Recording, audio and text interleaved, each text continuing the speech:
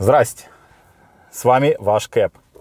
Опять читаем инструкцию, на этот раз про счетчик путешествий. Ну или другими словами, Trip.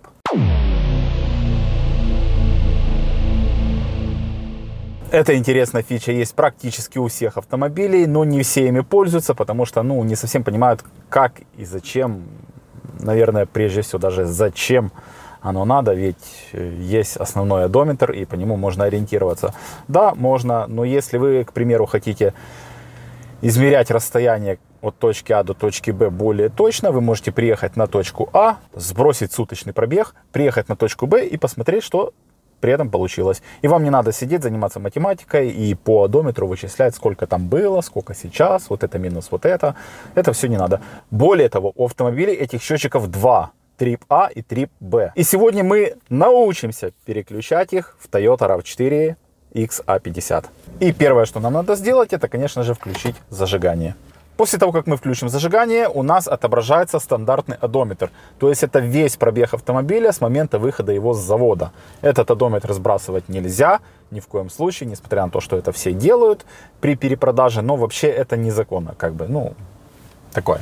Для того, чтобы переключаться со стандартного одометра на А или Б, нам необходимо воспользоваться специальным переключателем, который находится на самой приборной панели в виде такой небольшой палочки. Еще одной интересной фичей этого переключателя является то, что он может регулировать яркость приборной панели. Давайте на практике все это проверим.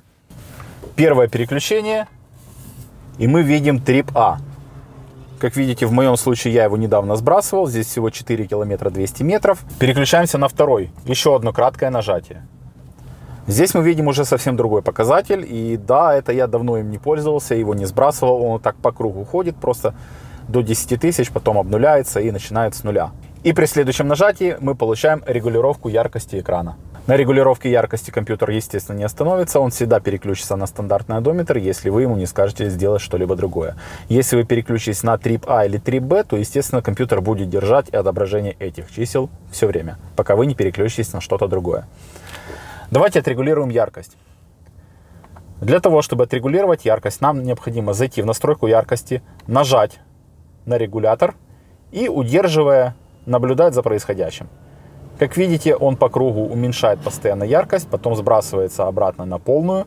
И так циклически, с небольшими паузами, для того, чтобы вы успели отжать кнопку в тот момент, когда вас яркость полностью устраивает. Вот, к примеру, у нас яркость минимальная.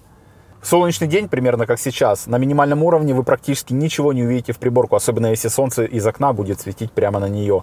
Поэтому рекомендую в этих случаях выкручивать на максимум. В инструкции у нас написано, что мы можем регулировать отдельно яркость как для ночного режима, так и для дневного режима. Но, как написано в инструкции, что в случае регулировки яркости в дневное время, в ночном времени он тоже изменится. Поэтому я бы не сказал, что это независимая регулировка на дневной и ночной режим.